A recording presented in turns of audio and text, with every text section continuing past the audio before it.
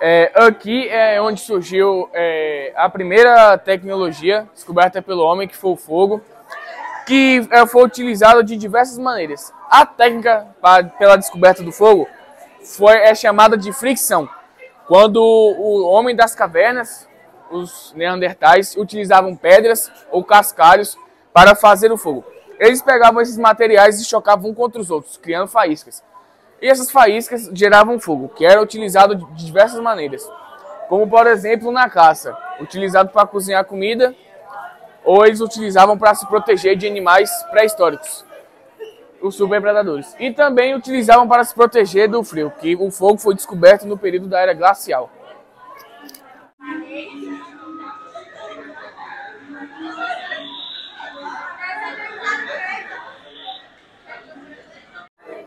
Bom dia, Erasto. Bom dia a todos os seus internautas do Portal Influência. Aqui são as rodas. As rodas que vêm desde a época de antigamente até as rodas hoje do próprio carro. A roda foi criada antigamente para transportar tanto pessoas quanto carro. Ali um pouco mais à frente tem a prensa de Gutenberg. Essa prensa que foi criada inicialmente para imprimir livros.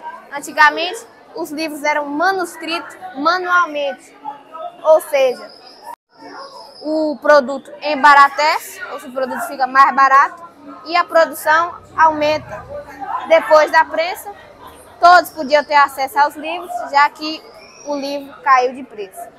Antigamente, o livro era um artigo de luxo, porque, como eu já disse, que era um escrito manualmente, é poucas pessoas que podiam ter acesso ao livro.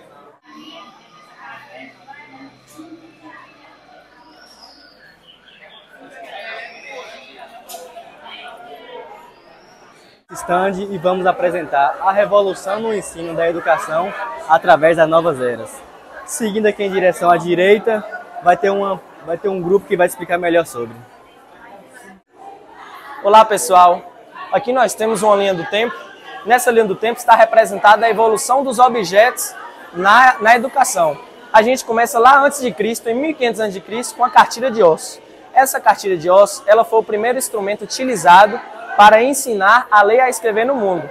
Pulando um pouco, vamos para o quadro negro, que veio se popularizar somente no início do século XIX e lá nos anos de 1800.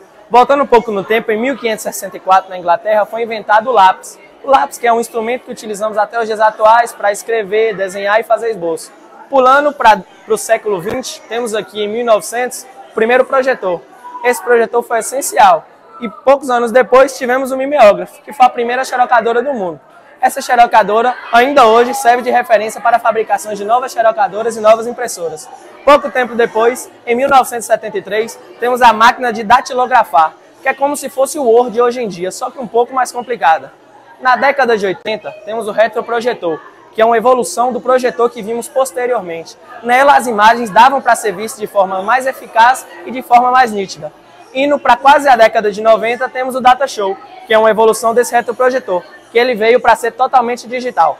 Entrando quase no século 21, na década de 90, temos os computadores, que onde esse, os monitores, os primeiros monitores, tinham um tubo atrás, e hoje não tem mais isso. Isso aqui é o gabinete, o teclado e tem também o mouse. Entrando nos anos 2000, temos aqui o laptop, que diminuiu todo o maquinário do computador, tirou o gabinete e se transformou em uma máquina só. Por fim, temos aqui o tablet em 2011, que eliminou o teclado manual e se transformou o primeiro instrumento totalmente digital na era da educação.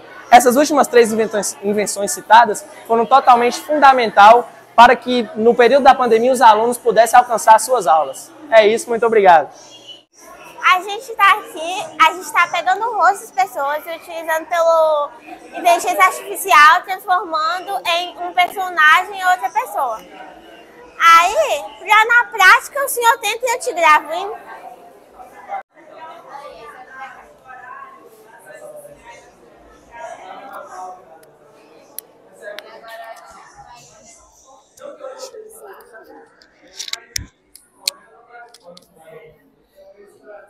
Oi.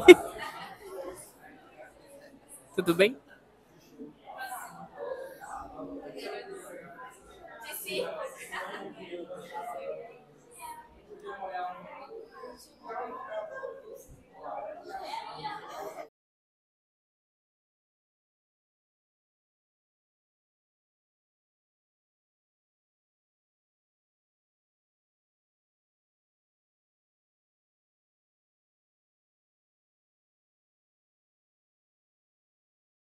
Bom, hoje a gente vai te explicar sobre a tecnologia na agricultura, que é essencial para o aumento da produtividade e da sustentabilidade. Bom, no mundo, a agrotecnologia ajuda, ajuda a enfrentar a segurança alimentar e as mudanças climáticas, que com a agricultura de precisão é, economiza a matéria-prima e reduz os danos ao ambiente. Já no Brasil, todos nós sabemos que o Brasil é um líder agrícola e a partir daí vem um alto investimento em diversas tecnologias e a, sendo assim, é, tendo melhor eficiência e sustentabilidade. Também, também temos a Bahia, com diversas cidades que também faz um alto investimento, como Luiz Eduardo Magalhães, Barreiras, é, Barra da Estiva, que são é, cidades que fazem um alto investimento em tecnologias para que melhore é, em diversas é, em eficiência e sustentabilidade. A partir daí vem a produção de diversos produtos, como algodão, é, grãos como soja, feijão, milho, café e também frutas. É, bom dia a todos. Eu vou explicar um pouco sobre esses drones, é, que eles são mais urbanos. Eles são drones que são mais usados é, para gravação, filmar, tirar fotos.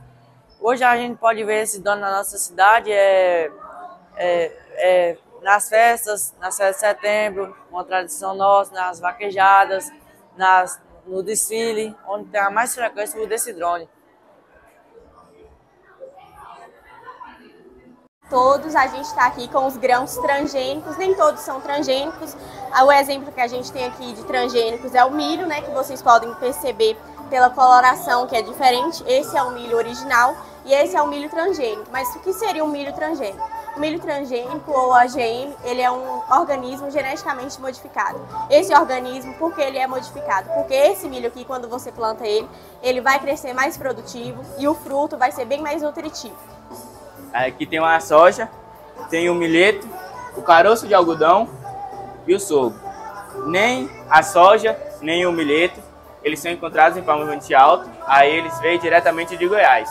Aí tem o sorgo e o algodão, já se encontrado aqui, e o milheto e o sorgo, ele é utilizado em, geralmente em rações. Na fabricação de ração. Como ele falou, em Monte Alto a gente não acha, não é só em Monte Alto. Em nenhuma região aqui perto da Bahia a gente achou. Então a gente achou uma pessoa que pôde conseguir trazer pra gente esses dois exemplos que a gente não vê com muita frequência. Bom dia! Agora a gente vai falar sobre a agricultura de precisão. A agricultura de precisão é um tipo de agricultura que tem como principal instrumento a tecnologia. E aqui estão uma das tecnologias, que é o sensoramento remoto, os drones, os satélites, a internet das coisas e a inteligência artificial. Esse tipo de agricultura vem, tem gerado bastantes benefícios, como o aumento da eficiência, a redução de custos, a melhoria da qualidade, a previsão de colheitas e a detecção de problemas. Aqui a gente tem um, um tipo de vestimenta que é utilizado para poder fazer a aplicação de veneno nas lavouras. E aqui algumas curiosidades. E para finalizar a parte teórica do nosso stand, a gente fala sobre a parte mais importante de tudo isso. Porque não adianta a gente falar de economia, falar de biotecnologia e de agricultura de precisão e não falar do básico, que é a agricultura sustentável, onde a gente vai plantar e colher de maneira sustentável buscando uma energia limpa, respeitar a biodiversidade e as, as comunidades existentes na zona rural. Olá, bom dia, tudo bem? Bom, aqui é a sala de interação com os visitantes, onde a gente tem um tabuleiro, um, é, um painel de pintura para os visitantes pintar. Aqui, como você já pode ver, várias escolas, vários visitantes já vieram, já pintaram. E também temos o óculos VR. O óculos VR, ele passa lavouras, trator, milho, soja, se o senhor quiser experimentar mais tarde. Também temos o quiz, que ele também faz parte do nosso stand. Ele tem perguntas sobre agricultura, sobre tecnologia e é baseado nisso. Olá, bom dia! Sejam bem-vindos à sexta edição é, da Feira do Conhecimento aqui do Colégio Novos Talentos. Nós estamos fazendo aqui é, um trabalho sobre os influencers digitais. Deixamos aqui um painel com os influencers que estão tendo bastante ibope atualmente, influencers que estão bem famosos. Esses influencers estão conseguindo ultimamente um bom lucro, mostrando seu cotidiano em casa, como funciona o seu dia a dia, ou até mesmo criando suas próprias marcas de produtos de beleza, como perfumes e maquiagens. E é isso. Eu vou falar um pouco do que realmente os digitais influencers fazem nas redes sociais. Os digitais influencers, eles buscam ir atrás daquilo que o público vai gostar, daquele conteúdo. E é claro que também eles vão atrás daqueles que eles se sentem confortáveis em estar postando também, como Publis e entre outros. Eu vou falar no que eles influenciam. Eles podem influenciar com as divulgações. Essas divulgações têm recomendações, avaliações positivas e negativas. Essas avaliações positivas são os pontos bons de uma loja, por exemplo, aparelho, atendimento. E a avaliação negativa, basicamente, é quando os erros da loja, por exemplo, o atendimento é péssimo, os produtos e materiais de lá também são ruins. Então eu faço um vídeo falando dos pontos ruins e do que eles têm que melhorar. E aqui está os materiais que os influenciadores usam. A ring light, o tripé, os celulares e os microfones. E também tem desses microfones. Bom dia! Hoje nós viemos falar sobre a evolução do cinema. Eu vou começar falando o que é o cinema. Cinema é um termo que refere-se à arte da produção de filmes e a um objeto que tem como função projetar de forma rápida diversos fotogramas que criam impressões de movimento em nosso cérebro. Bom, a história do cinema mundial em si só foi possível por conta da invenção do cinetoscópio criado em 1889 por William Dixon. Aqui a gente criou uma câmera cinematográfica de como era o cinema antigamente, usava esses tipos de câmera. Aí então a gente retratou para um trabalho aqui do nosso, do nosso estante. Aqui a gente trouxe imagens de Charlie Chaplin, que foi uma grande pessoa que marcou aquela época dos cinemas. Ele marcou demais quando foi um grande ator no cinema mudo. Aqui a gente trouxe imagens de mulheres que marcaram aquela época, algumas delas cantoras, atrizes e modelos. Mary Holly, ela foi uma cantora, atriz e modelo no interior dos Estados Unidos. Obrigada. Temos uma linha do tempo das câmeras fotográficas é, destacando marcos importantes. Por exemplo, aqui nós temos a primeira câmera fotográfica, a primeira câmera fotográfica e também a primeira fotografia. Tudo isso foi marcado em uma placa de metal refletindo sobre a luz do sol. E aqui de baixo, com o tempo, dá para ver que as câmeras foram evoluindo. E aqui de baixo nós temos uma é, imagem da quadra João Roriz como ela era antigamente, antes de ter a quadra e etc.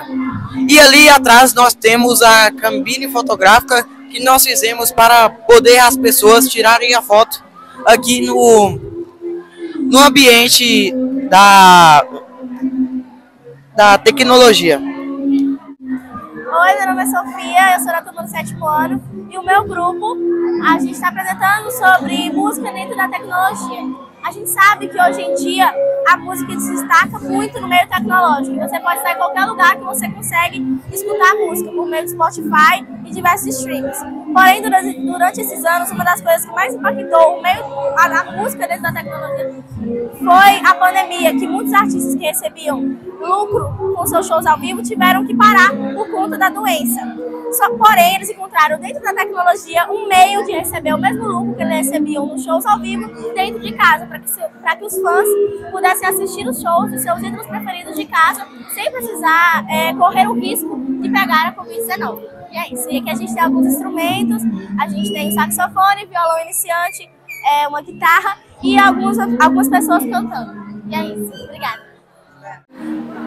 Aqui a gente tem um quiz interativo onde as pessoas podem falar, podem é, responder sim ou não para as perguntas, é, que a gente vai avaliar e dar um prêmio para ela. É, sendo, a, o prêmio, um dos prêmios fala que ela tem que melhorar com a sua agilidade ou é, no seu modo de mexer na internet e o outro parabeniza a pessoa mexendo como que ela está mexendo do modo certo. Aqui a gente tem um vídeo, vários vídeos de pessoas que a gente fez, de fotos que a gente pegou da internet, o vídeo das pessoas relatando golpes ou algumas coisas, algumas pessoas que hackearam elas, que foram hackeadas. Aqui no fundo a gente tem essa imagem aqui que retrata como as pessoas hoje em dia estão é, sendo, tão sendo muito dependentes das redes sociais e da internet. Aqui temos nossos pallets que falam é, sobre a internet, os usuários da internet, a, o mito da caverna, de, da caverna, que fala outras coisas aqui também. E lá na frente temos tem o nosso QR Code, que tem o nosso site, que a gente fez falando mais sobre as informações da, da, do assunto, sobre o assunto. Aqui a gente tem uma ilustração de uma prótese para aquelas pessoas que não têm certo membro.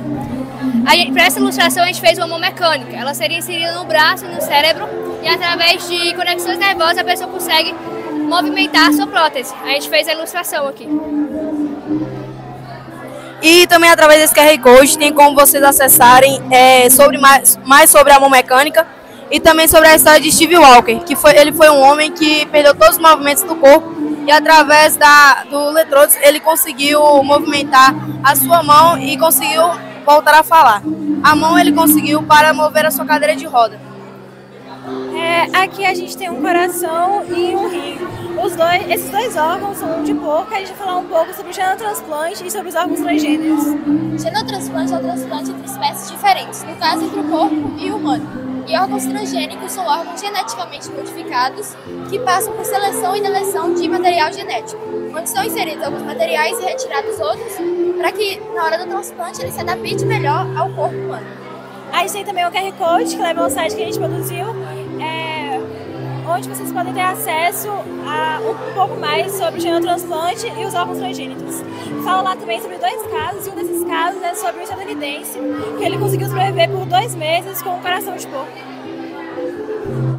Bom dia, hoje a gente vai apresentar sobre a evolução do esporte e do futebol ao longo do tempo. Aqui a gente tem como representação chuteiras, das mais novas até a mais antiga. Vocês podem observar diversas diferenças, como tanto no material, como tanto no, no, nas cravas. As cravas das chuteiras de antigamente eram maiores, por vários requisitos, como é, o gramado, que era mais acidentado, o tamanho da grama, os morrinhos que tinham dentro de campo, etc. Aqui a gente tem a representação da evolução da, da, das blusas do futebol ao longo do tempo. Essa aqui é uma blusa antiga do futebol. Vocês podem perceber que o tecido dela é feito de algodão. O algodão ele absorvia o suor dos jogadores ao longo do tempo. Isso prejudicava na corrida e no desempenho físico do jogador. Depois de, da evolução da tecnologia, a gente teve outro tipo de tecido que sobressaiu, que foi o tecido sintético. Além de esticar, ele não absorve o suor. Isso ajuda bastante no desempenho do jogador. Hoje em dia, a gente tem várias evoluções de uniformes, como uniformes que estão sendo desenvolvidos biodegradáveis, que não degradam o meio ambiente, podem ser reutilizados. Temos uniformes que eles captam o batimento cardíaco, o desenvolvimento do jogador em meio de campo. Aqui também nós temos a cabine de VAR, né? Que o VAR, que é o assistente de árbitro de vídeo, que apareceu pela primeira vez nos Jogos do Brasil no ano de 2017. A principal função do VAR é auxiliar na tomada de decisões para o árbitro principal, né? Para que ele não cometa nenhum erro na hora de fazer o resultado final do jogo.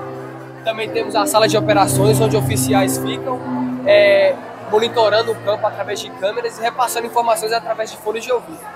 O nosso tema é saúde e tecnologia. Por mais que o VAR não tenha muito envolvimento com a, com a saúde diretamente, ele pode acalmar torcedores, dependendo né, do estado, do, do placar, etc. Aqui também nós temos algumas representações das medalhas olímpicas. Essa aqui, a, a medalha de Paris de 2024, foi a última Olimpíada que teve. Esse aqui foi a primeira Olimpíada dos Jogos Modernos, que se passa entre 1860 e 1870. Obrigado. Aqui a gente tem a tecnologia na esgrima. A esgrima, é, ela usa tecnologia na contagem de pontos. Anteriormente, a contagem de pontos na esgrima era feita através do giz, que a ponta da espada era feita de giz, e aí, conforme tocava o corpo do oponente, era marcado.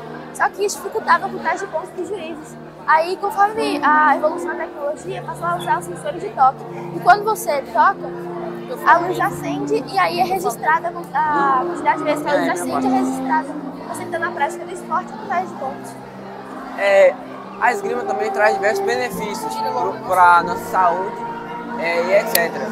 É, a esgrima ela pode nos ajudar na flexibilidade, é, também nos ajuda no equilíbrio, coordenação motora, é, flexibilidade cardiovascular e diversas outras coisas. Por aula, é, fizeram uma pesquisa você pode perder até 500 calorias por aula. É, existe a esgrima das três tipos de modalidades de é, espada. Existe a, o florete, é, o sabre e a espada comum. como podemos ver, essa, essa aqui esse, é a espada comum. Ela é uma, muito fininha e se diferencia bastante dessa. Como? Essa aqui se parece mais com o sábio. Por quê? Por causa da gosta da lâmina e por causa do cabo, que tem de qualquer jeito tem mais apoio para o jogador. É isso. É, aqui é a parte da frequência cardíaca. Bom, a tecnologia na saúde, através desses estudos, busca uma qualidade de vida melhor para as pessoas, com vários benefícios. Quais são esses benefícios? Uma boa saúde para a pessoa, prevenções de doenças e uma qualidade melhor na vida da pessoa. Como vocês podem ver, a gente tem um aparelho ali, que ele é o Elite. Ele é bastante utilizado nas academias. Ele é uma simulação de caminhada ou corrida. Então, mas o que, que ele tem a ver com o nosso tema? Ele nos ajuda a gente ter uma noção da nossa frequência cardíaca. Mas o que é uma frequência cardíaca? Uma frequência cardíaca são os batimentos por minuto de uma pessoa. Uma pessoa adulta em repouso pode ter de 60 a 100 batimentos cardíacos por minuto. Também depende muito da atividade física que ela está fazendo, a idade e também a alimentação da pessoa.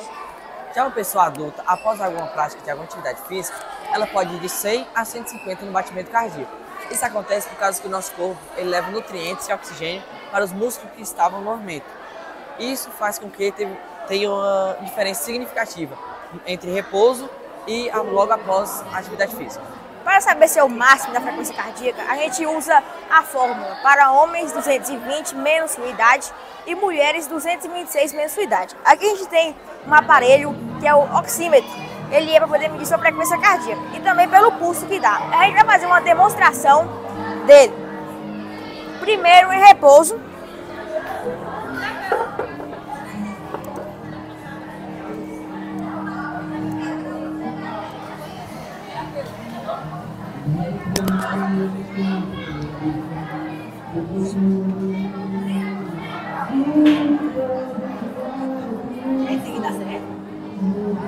Aqui podemos perceber que está entre a média. Não pode passar de 60 e não pode passar da, no limite da frequência cardíaca dele. Caso passe, é sempre bom procurar um profissional, no caso, cardiologista. Agora ele vai fazer um pouco da, do elíptico para mostrar depois da, da prática. Eu não vou fazer isso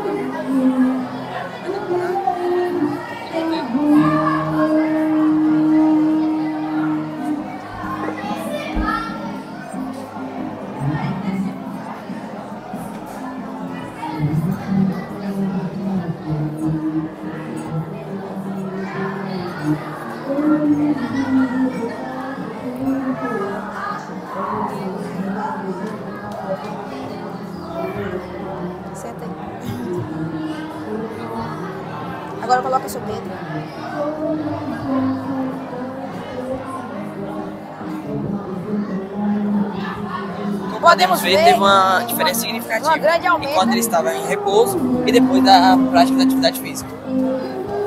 Então, a gente propõe que as pessoas façam três vezes exercício na semana para melhorar sua saúde, entre outros. Então, essa foi a nossa parte de frequência cardíaca aqui na feira, na sexta edição da feira do, do Colégio Novos Talentos. E muito obrigado por todos que participaram. Bom dia, a gente é do sexto ano. Fizemos uma barraca aqui sobre as plataformas digitais e temos um óculos virtual que passa um vídeo só explicando essas plataformas. As plataformas principais são o Mercado Livre, a KiwiFi, a Amazon e a Shopee. Ambas plataformas são plataformas digitais e de compras e vendas de produtos online. A gente explica sobre como você pode comprar, vender e ganhar dinheiro com, essa plata com essas plataformas. Como, por exemplo, a QIFI é uma plataforma onde você pode comprar e vender cursos online, como uma coisa que você sabe fazer e quer repassar para outras pessoas. O Mercado Livre e a Shopee são ambas lojas digitais que vendem somente produtos físicos digitalmente, pelo celular. Que você faz a sua encomenda e eles dão um prazo e aí você consegue comprar. A Amazon tem diferentes tipos de plataformas, como a Prime Video, a Amazon e a Amazon Life. Amazon Life é como se fosse um Alexa, entendeu? Ela meio que controla a sua casa por um certo aplicativo. A Prime Video é uma. Como eu posso dizer? É, um, é, é tipo a Netflix, é uma plataforma de filmes. filmes e séries para você poder assistir. E a Amazon é como a Shopee e a Mercado Livre. É uma loja digital onde você compra, faz seu pedido, entre outros. É, oi, bom dia. Meu nome é Igor Felipe e a gente ficou com o tema de tecnologias modernas. As tecnologias modernas estão abrangendo em todo o mundo, né? Como exemplos, celulares, tablets, computadores, entre outros. A gente também está abrangendo o tema sobre robôs. Como vocês podem ver, a gente né, é, construiu um robô de papelão para ficar exposto aqui para vocês. É, agora eu vou passar a fala para o meu colega José, que ele vai abranger mais sobre o nosso tema. É, você sabia que o robô, mesmo já chegando, fazendo pouco tempo que ele chegou, já está percorrendo o Brasil inteiro, fazendo coisas boas, como ajudando pessoas que não, é, que não conseguem fazer trabalhos pesados e duradouros, é, ajudando cada vez mais. Só que tem as, as partes boas também tem as partes ruins. É, eles estão fazendo que as pessoas perdam o emprego porque eles não estão sabendo fazer direito e trocam por robôs. Assim, é, fazendo pessoas fiquem com fome, sem magia e sem emprego. Agora eu vou fazer, para dar exemplo, vou passar a fala do meu amigo Felipe. Existem também os robôs humanoides, que são robôs que, que são mais avançados do que o robô normal, que tem uma inteligência acima. Eles podem carregar coisas, andar, correr, responder perguntas e etc. Eu posso dar exemplo desse robô como o robô Sofia e o robô e o robô Akama. Esse aqui é o escambo. Meio que, meio que nosso trabalho da feira é sobre as evoluções dos métodos de pagamento. Nosso trabalho é sobre a evolução dos métodos de pagamento. Meio que o escambo, meio que é, é o tipo de troca, meio que você pode trocar sal por açúcar, vinagre por açúcar ou sal por açúcar. E foi surgido em 1492. Meio que é porque esses materiais eram muito escassos, eles variam muito. O sal, meio que ele, você, o sal, ele era um pagamento de lá, então foi ele que derivou a palavra salário. Por isso que existe o salário, que você recebia. Continuando, vamos para época de 1500, quando o Brasil se tornou império e começou a fazer as moedas réis. Os réis valiam bastante dinheiro na, na época de hoje em dia. Mas eles começaram a fazer inflação. A inflação meio que você derretia moedas e fazia outras, só que menores, valendo menos preço. Então meio que hum, os réis é bem valoroso. Hoje em dia esses réis valem dois mil e tantos reais. Vamos para a época 1942. A época que surgiu os cruzeiros e ré, dizer, os cruzeiros e os cruzados e centavos meio que um cruzeiro é equivalente a mil réis naquela época. Hoje em dia tem réis que pode valer até cinco mil reais cruzeiros até três mil e tantos reais. Porque eles não são mais produzidos. E o cruzeiro surgiu quando o, quando o Brasil se tornou uma república. Indo agora para 1994, que surgiu as cédulas, cada um tem um animal diferente que está extinto aqui nessas imagens aqui que é bem raro eles. Tipo, aqui a, a de dois reais é a tartaruga, a de cinco é o louro, etc. Indo agora para a maquininha de cartão, meu carro funciona assim. Tem aquela lá que você coloca o cartão, coloca o valor, o, a senha do cartão, depois você coloca o preço que a se pagar. Depois também tem aquela de aproximação. Finge que, esse, que essa maquininha de aproximação. Meio que você coloca o código Meio que você coloca o preço a se pagar e coloca e paga assim. E também temos um. Se você recortar seu cartão e fazer bem assim, ó, recortar ele, ó. Se eu deixar esse chip, dá pra você colar ele no anel ou, na, ou em uma maçã ou em um relógio e dá pra usar como se fosse um cartão. E, e também tem, temos que tomar cuidado porque tem gente que pode pegar uma máquina de aproximação, colocar lá e passa no seu cartão se você não estiver olhando. Então, isso é muito, muito chance de ser roubado com esse cartão, menos segurança.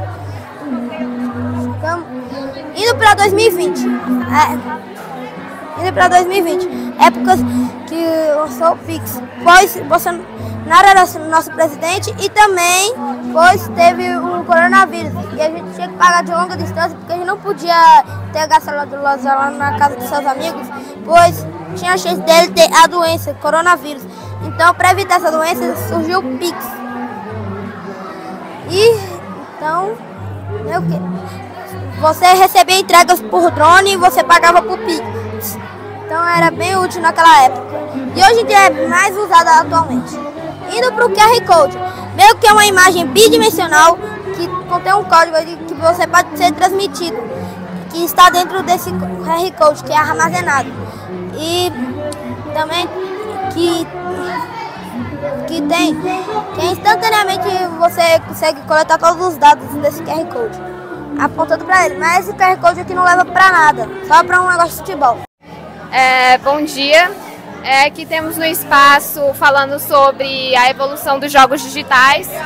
E aqui tem a televisão com os Playstations que foram é, utilizados para estar tá jogando durante a, a feira do conhecimento. Aqui também tem o, é, a, o cenário que a gente fez é, para representar o jogo, que é o do Super Mario. E aqui tem a mesa também que a gente é, pôs os QR Code dos Playstations, do Xbox, é, e também de jogos também como GTA e também é o Pac-Man, além desses aqui que a gente pôs na aqui na parede, que a gente produziu. E aqui tem o Nintendo e os Playstations, o 3, e aqui o notebook que estava aberto com os jogos. E é isso. Bom dia, é, sou, meu nome é Alexandre, eu estudo no Colégio Novos Talentos da turma primeiro ano vou apresentar para vocês aqui um sistema de garagem com detec quando detecta o movimento, ele vai abrir a garagem. Quando vocês podem ver, eu vou colocar minha mão aqui e ele vai abrir. Uns minutinhos aí, abriu, saiu o carro. Deixa eu pegar o carro aqui, e é isso. O nosso próximo projeto consiste em um, é um mapa de farol, mapa farol não, aqueles mapas que possuem em submarino que eles captam algum movimento e espelham aqui no, no monitor. Ele está captando o movimento da minha mão e está espelhando aqui. Ele capta de, de 15 a 175 graus, numa distância de 60 centímetros. Aqui, ó, eles captando minha mão aqui, ó, bem pequenininho aqui. Esse próximo projeto representa uma dificuldade que apresenta no, no uso doméstico em casas.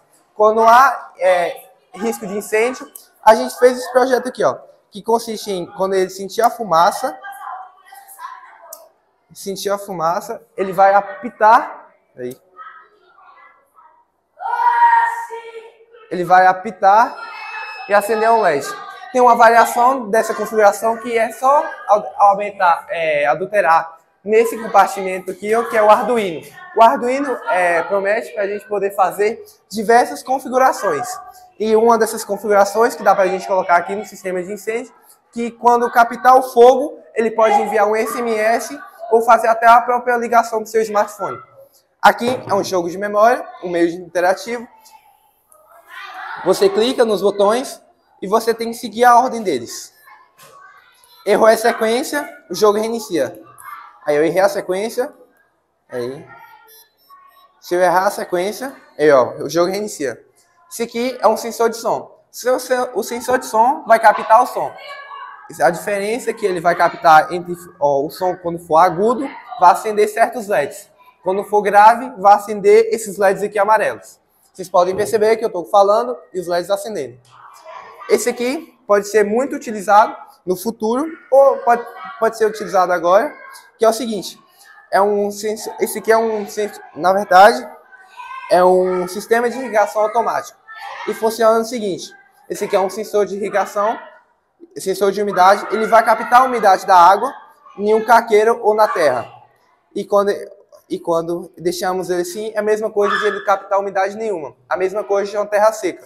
E aí, quando ele for captar umidade, ele fica jogando água. Quando ele for captar, ou seja, o, é, o caqueiro é, ficou jogando água, o caqueiro já molhou, esse aqui vai captar a umidade e para de funcionar.